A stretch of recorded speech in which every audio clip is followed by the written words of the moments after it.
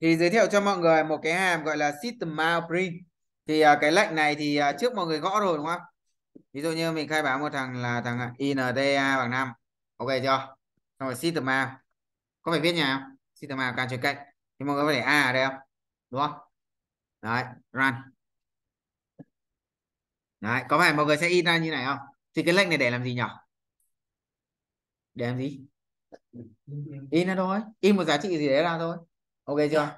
Đấy thì đây là cái lệnh. Còn à, mình có nhiều loại nhé mọi người thấy là có system out print này print line này print không này hoặc là print format này. Ok chưa? Thì sẽ giới, ừ, giới thiệu qua mọi người ba cái lệnh này. Đầu tiên là cái lệnh print trước đi. Intb bằng 6 đi. Ok chưa? System out này. Đầu tiên mọi người nhìn cái lệnh này nhá. System out chấm print. Print này là print line nhá cái cái ln này này, nó viết tắt cho từ line. Ok chưa? Đấy, thì line này thì là, ví dụ nha mình in là này. Thì mọi người nhìn cái kết quả nhá. Mọi người thấy là thằng này một dòng thằng này một dòng không? Đúng không? Nhưng mà giờ giả sử nhá, mọi người không có cái này. Đấy, không có line mà mọi người chỉ có print thôi, thì nó sẽ như thế nào? Thì nó sẽ in trên một dòng. Tức là in thằng này xong, thì đến thằng này. Ok nhỉ Đấy, thì đi sâu hơn một chút nhé ví dụ như mọi người viết system out.print như này. Mọi người thấy nó in con năm ở đây không? Nhưng mà điểm khác biệt này là cái con trỏ tiếp theo này mọi người thấy nó trỏ xuống dưới này không? Đấy, tức là cái giá trị đằng sau khi mà in ra ấy, nó sẽ xuống dòng. Ok nhỉ tức là nó sẽ in cái con A này trên một dòng nguyên. Đấy còn giả sử nhá mọi người in con B này có phải con B này không xuống dòng không? Đấy mọi người nhìn nhá đấy có phải thằng năm này này con trỏ sau khi in xong dòng này nhá con trỏ tiếp theo phải nằm ở đây không? Đấy thì nó sẽ in con 6 ra. Và sau khi in con 6 ra thì con trỏ tiếp theo nó ở đâu? Đúng không nó ở cạnh con 6 ok chưa? Đấy mọi người thấy nó không trỏ xuống dưới nào nhưng giờ giả sử là cho thêm con này. Đấy thì dòng tiếp theo nó sẽ ở đâu? Đây một đến mọi người thấy con trỏ đấy thì khi mà mình in ra thêm một cái gì đấy nữa. Đấy, ví dụ như mình in kể cả không xuống dòng ok chưa? À, in ra con A10 đi. Đấy mọi người thấy là nó vẫn xuống dòng không? Ok nhỉ hiểu hiểu ý tưởng không? Đấy tức là cái print này nhá nó sẽ quyết định cái việc là có xuống dòng hay là không xuống dòng. Ok nhỉ lệnh hai lệnh này ok đúng không? Đơn giản. Ok tiếp theo sẽ hướng dẫn mọi người một cái lệnh là print format như thế nào. Print format như thế này thì nghĩa là như thế nào? Ờ đây ví dụ như là ở đây mọi người sẽ có sit out như này nhá đúng không? Và mọi người sẽ có là ví dụ như kiểu là a hai chấm xong rồi cộng với lại cái giá trị a ở đây đúng không? Hoặc là đây là mọi người sẽ viết là uh, value của a là hai chấm đúng không? Thì bình thường nhá mọi người sẽ cộng cái chuỗi như thế này ok chưa? Ở đây là một cái string đúng không? Cộng với lại một chữ thì nó sẽ ra string nhá. Đấy, thì nó sẽ in ra một chuỗi string ở đây là value của a là 5 ok chưa? Đúng không? Đấy. Thế thì à, ví dụ mọi người có một cái đoạn text như thế này đi. Đây.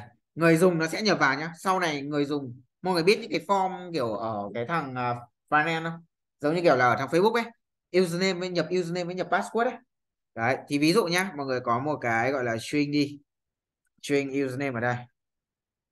Bằng uh, à rồi string full name đi cho nhập full name đi. Đấy bằng nguyên văn A. Ok chưa? Đấy xong rồi string uh, company đi. Đấy là công ty uh, trách nhiệm hữu hạn này ví dụ như là ABC đi. Ok chưa? Đấy xong rồi tuổi tiếp các thứ này sẽ gặp vào tuổi này nhá. Đấy, bằng 10 ok chưa? Đấy giả sử mình có bằng này biến đúng chưa? Thì mình sẽ in ra một cái dòng thông báo là đây tôi tên là là gì đấy đúng không? Xong rồi có phải là cộng với lại một cái chuỗi là full name không? Đúng không? Đấy, xong rồi à, tiếp theo cộng với lại cách một cái này. Tôi à, hỏi chấm tuổi đúng không? Đấy xong rồi lại cộng tiếp với lại ok chưa? Xong tiếp theo lại là cộng cộng tiếp là tôi tới từ công ty nào đấy, đúng không? Còn cái này, company. Có đúng là bình thường mọi người nếu mà viết một cái message gì đấy mà nó dạng kiểu long ngoằng như này này, có phải là mọi người cộng cộng cộng kiểu này không? Run này. Đấy, mọi người thấy ra giá trị đúng không? Tôi tên là Nguyễn Văn A. Tôi 10 tuổi. Tôi tới từ trách nhiệm hữu hạn gì đấy, đúng không? Đấy. Mọi người thấy cách này nó long vào nó rất nó rất dễ bị sai. Đấy, thì khi đấy người ta sẽ support mọi người một cái phương thức gọi là system mouth nhưng mà không phải print line mà là print format. Ok chưa? Print format ở đây. Nghĩa như nào? Nghĩa là uh, ví dụ như ở đây mọi người muốn viết một đoạn string nhá. Tôi tên là là gì đấy đúng không? Cho một cái phần trăm ở đây. Có phải là tên không? Phần trăm s ở đây có nghĩa là điền một string vào. Ok chưa? Tiếp theo là tôi bao nhiêu tuổi? Tuổi ở đây là gì? Int thì nó sẽ là phần trăm d. Ok chưa? Tôi hỏi chấm tuổi ấy. Đấy, tôi tới từ từ công ty đúng không? Công ty có phải là s không? Là là là string mà. Đấy, thì mình sẽ truyền các cái tham số vào đây. Tham số đầu tiên là của đây của mình ở đây là gì? Full name, đúng không? Tham số thứ hai age đúng không? Tham số thứ ba, company. Ok nhỉ? Rồi run đấy, thì mọi người sẽ thấy là hai cái câu này là giá trị nó là như nhau. Nhưng mà cái cách mọi người biểu diễn mọi người thấy câu này nó dễ hiểu không? Đúng không? Đấy, thì cái này gọi là string format nhé. String format.